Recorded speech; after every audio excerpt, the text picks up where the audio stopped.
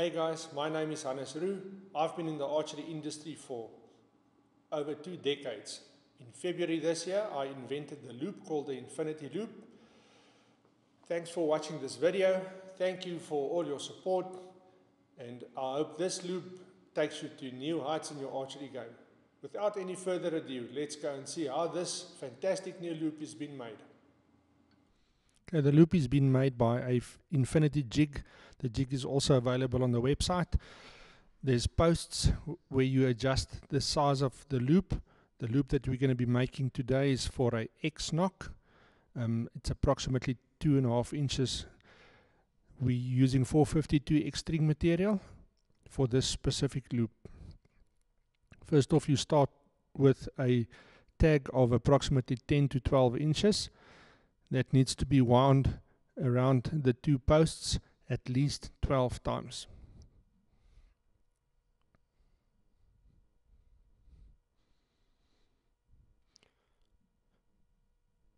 Okay, then we're going to cut on the opposite side. We're going to cut a tag of this about the same length, 10 to 12 inches.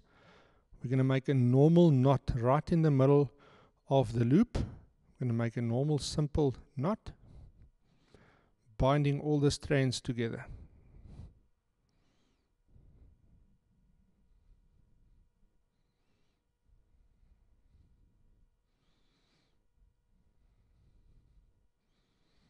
Now you pull the knot nice and firm. Push the strands up so that they align nicely. Now you will notice that on the knot, on the top, you'll see there's a, there's a tag going to the right of the knot and one tag going to the left of the knot. We're going to first ta take the knot, the tag that's on the right hand side. We're going to start winding the loop about 10 or 12 times.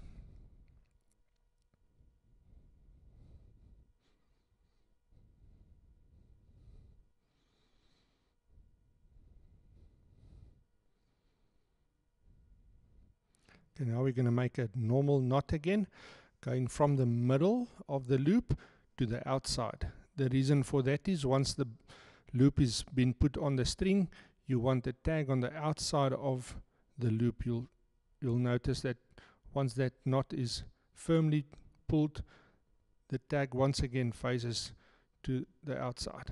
Do the same on the other side.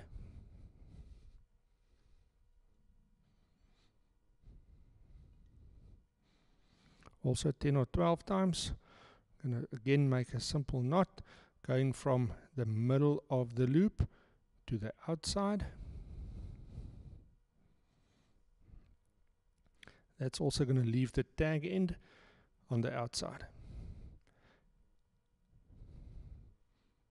Pull it nice and firm.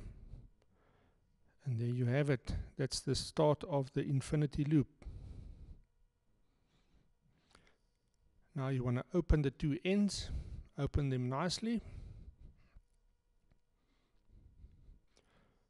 The other, the other end as well, open it nicely. Now we're going to fold the two loops so that they across each other. Fold them nice and tight.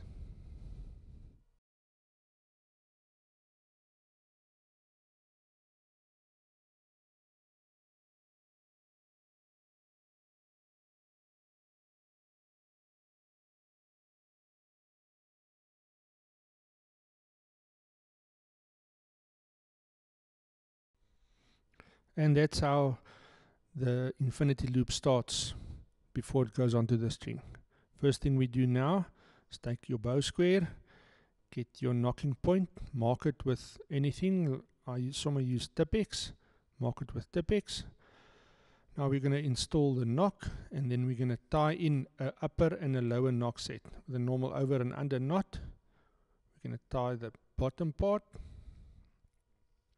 I usually take about three knots, three or four knots.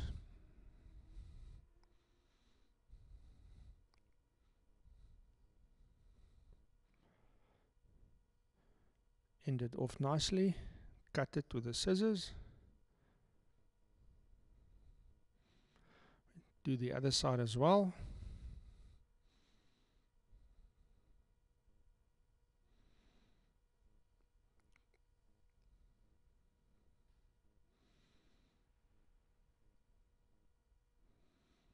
Three knots on the top, three knots on the bottom, and that's going to help to secure the nock nice and firm. And it's going to be easy to replace if you need to replace the loop.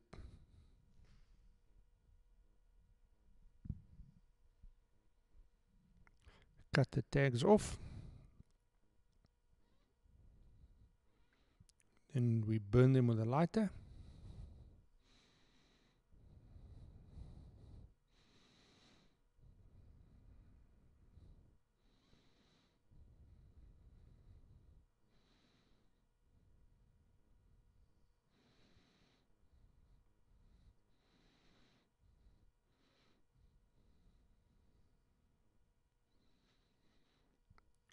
Now what we want to do is the infinity loop, we want to push the tag ends through the big loop and then the small little trigger loop goes through there as well. First push the two tag ends through, pull them through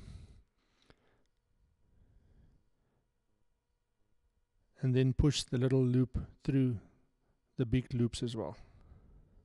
Making sure that both the sides are on the outer side of your tied nocking points. Now you've got two tag ends.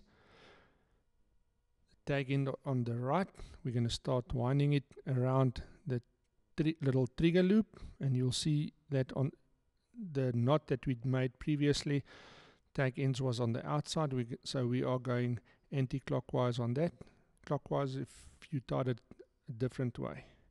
So now we're just serving until the little loop gets to the, the D, the D part. Now then we go through the hole and we start serving that in nice and tight.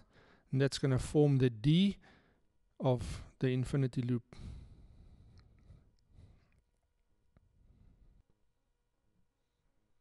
The closer you get to the string, you want to pull the tag nice and tight. You want all the pieces of string on the infinity loop to be nice and tight. And you want it to be on the outside of the tied in nocking points that you tied. Now we're going to take the other one.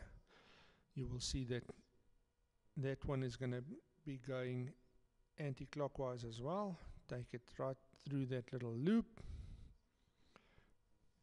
and then we're going to start going through the little D as well.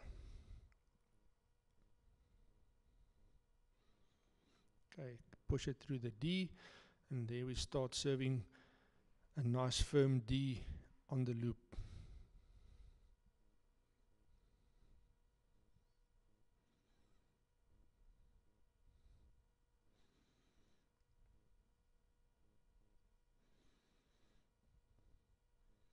How many times we're going to do that, it's going to vary depending on the size of the loop that you're making.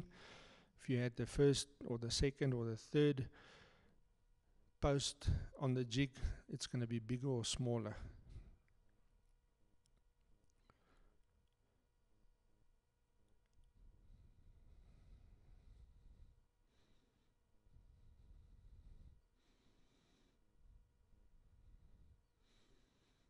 That looks about right. Now there's two ways of ending this off. Some people will do the one, some people will do the other. Um, I'm just going to be showing you both ways.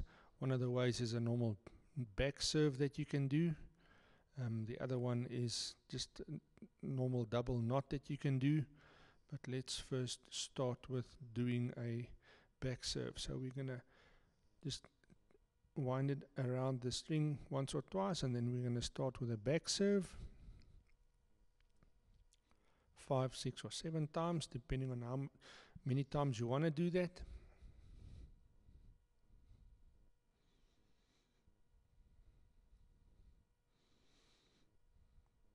Okay now we're going to serve it so that it doesn't move and now this is also going to help you with your peep rotation. So if you had a problem with the peep not rotating correctly, um, this is where you're going to now move the loop in the direction, do a back serve or normal double knot, and there you go.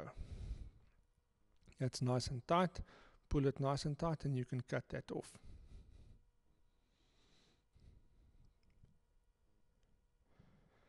Okay, that's the one way. So you can either do that top and bottom, or you can do the other way that I'm going to show you now, top and bottom. So what I like to do, my, my personal favorite, is a double knot. So I push the tag through itself twice, pull it nice and tight. Do that once or twice if you want to. If you want to do it again, you can do it again.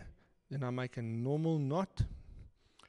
And doing the knot is just going to help that tag not to pull through the knot that you just made.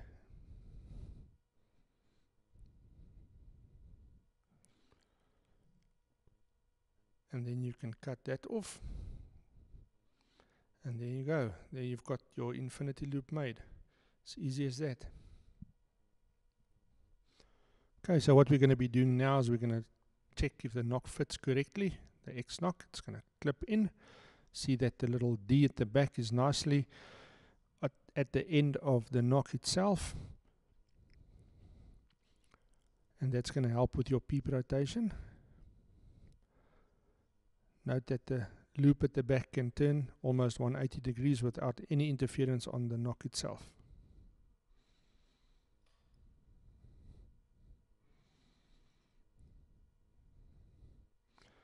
Okay, here we're going to draw the bow.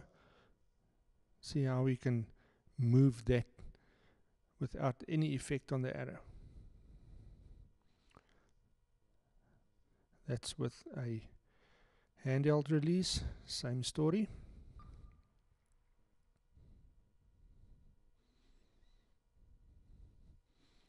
and that's with a release with a much bigger jaw okay so let's quickly do a comparison between a normal D loop and the infinity loop. This bow is on full draw on a draw board. Now we're going to be changing the angle of the trigger and looking at the string we will see how much torque we have. There we are on a 180 degree to the one side and 180 degree to the other side. And notice that the string is still in the same place and that's one of the big the best benefits of the infinity loop. Now let's look at the D loop. Same story bows in the in the draw board. We're going to turn the trigger to the one side. We on are almost on 90 degrees and look at the amount of torque you have. Now we're going to do the other side. You will also see that on 90 degrees there's a lot of torque on that and that's the reason why the infinity loop is so much better and accurate. Okay so let's go do a test and see how this loop performs in the field. I'm going to be shooting five arrows on 50 yards and it's a 35 centimeter field target